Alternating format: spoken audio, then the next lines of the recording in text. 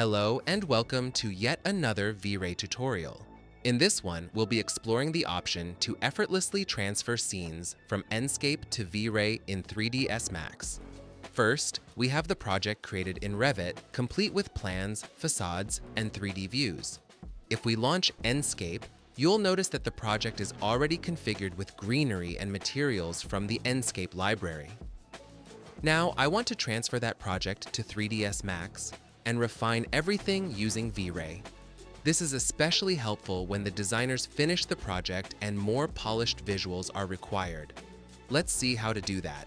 If you are using Enscape 3.5.6 or above, you will notice a button featuring the V-Ray logo.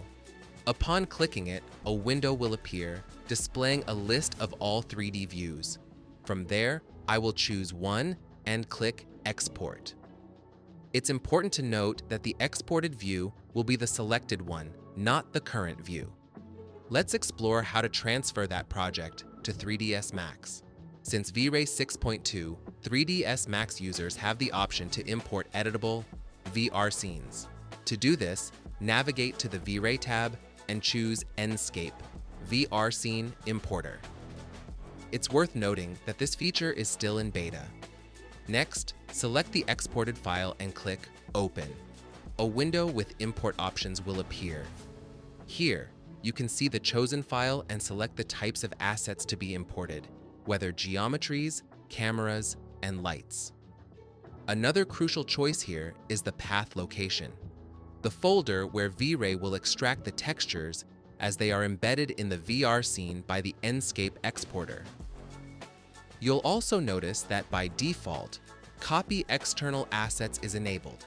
This option will copy external assets that are referenced in the VR scene to the Extract Assets folder, so all imported content keeps its asset files in a single place. Additionally, the option to rescale objects to system unit scale is enabled. This will adjust the sizes of imported content to the current 3ds Max system unit setup. Now go ahead and click OK.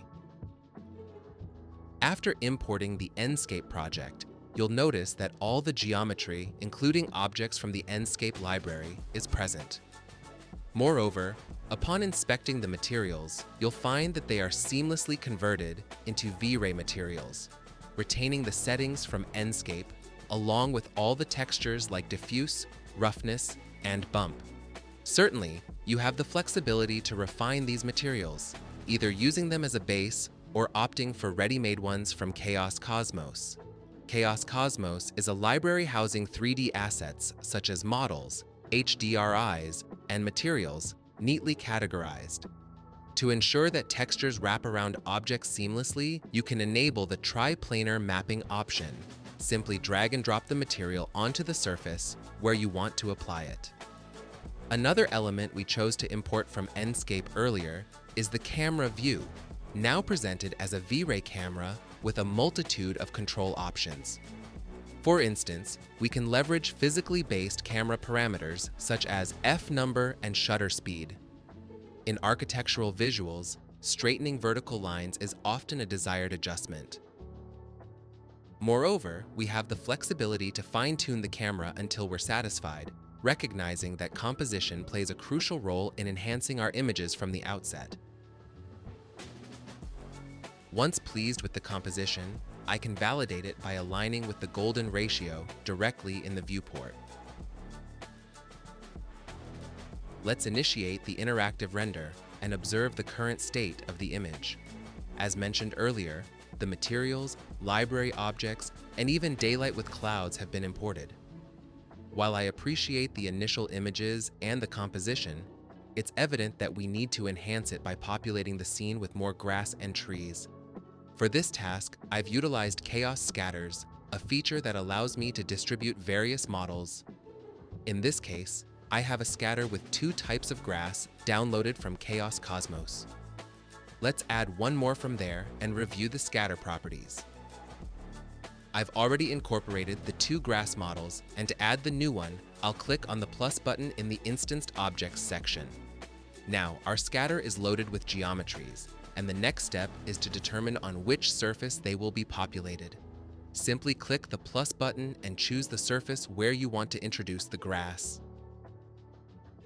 Next, I will unhide props that I added from Chaos Cosmos in the same way. I've incorporated some autumn trees in the foreground and scattered leaves on the ground.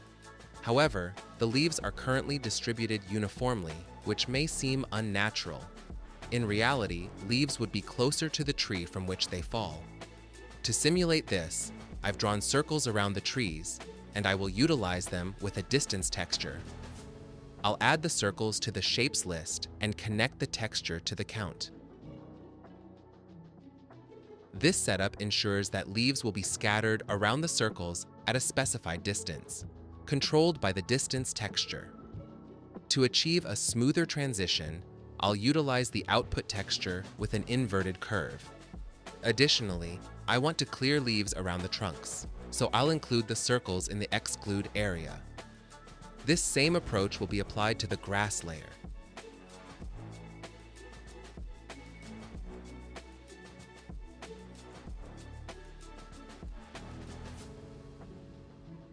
Expanding on the scene, I've added more scatters for leaves and trees, introducing additional geometries from Chaos Cosmos, akin to what we did with the grass earlier.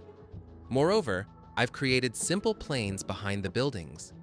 Scattering trees on these planes simulates a hill, while another plane in the background represents a distant city. For the cityscape, I've used three building models and a few trees. It's important to note that the frequency value for the buildings is deliberately set low. This adjustment prevents the buildings from overshadowing the trees, considering their significantly larger size. Without this adjustment, only the buildings would be visible.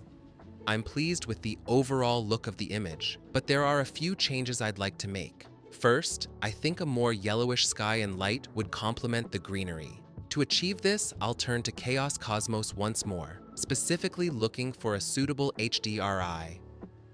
We can use an HDRI to simulate light from a real moment captured in real life.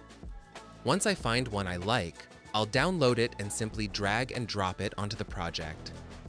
By locking the texture to the icon, I can easily rotate it directly from the viewport to find the right angle. Now that the sky looks better, I've noticed that the sun is a bit too strong, Let's address this by disabling it from the V-Ray lister. Additionally, I've introduced a few artificial lights to bring more life to the building. Don't worry if some of the lights appear too strong. We can fine-tune their intensity later on. For more information about the artificial lights, I'll leave a link in the description. This updated version looks significantly better. However, there's room for a few more enhancements. I've added a simulated cloud from Chaos Phoenix on the hill to introduce realism, atmosphere, and a sense of depth. You can find a link with a tutorial on how to make clouds with Chaos Phoenix in the description below.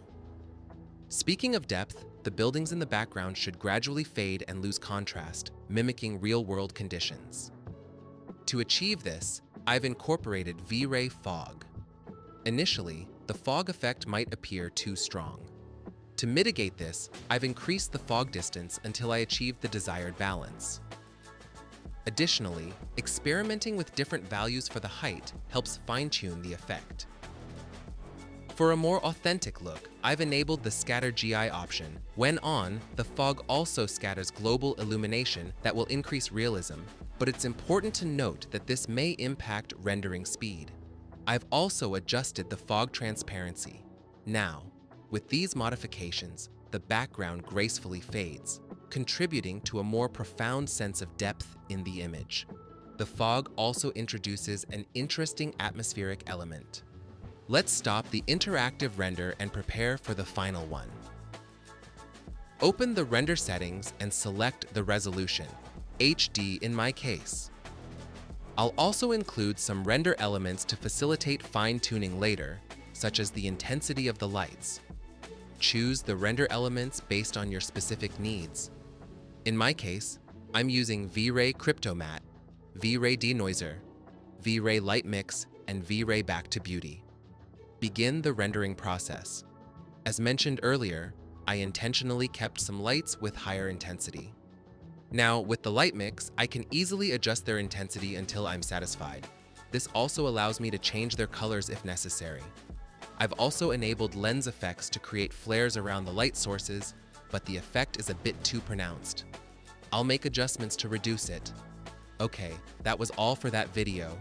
Thanks for sticking with me to the end. By now, you should have learned how to transfer your projects from Enscape to V-Ray in 3ds Max and a few more tips and tricks. Make sure you take a look at the rest of the videos on Chaos TV channel, or check our blog and documentation for more product tips and tricks. I hope you enjoyed this tutorial. See you soon.